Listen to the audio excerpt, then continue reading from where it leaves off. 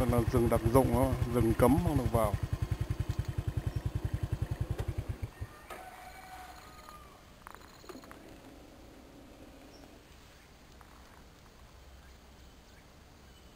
Rừng già nguyên sinh. Cây gỗ chắc này những cái gỗ chắc này những gỗ gỗ chắc này. Đấy cái gỗ chắc một ký cả nó cả cái triệu một cả ký gỗ. Chắc quá trời.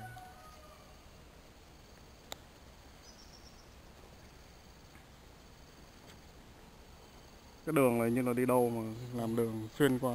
Chuyện ngày xưa nó xuyên qua bên kia là đi vào dân trong kia nhưng bây giờ nó xây lại nó hết cấm đi đường này.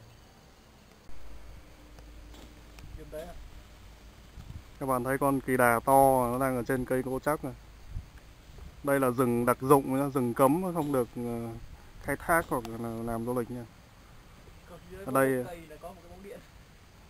đây là bên ngoài mình đi bên ngoài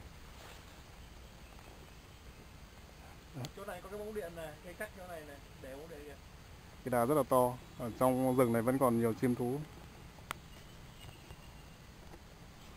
Rừng ờ, xây bao hết để bảo vệ.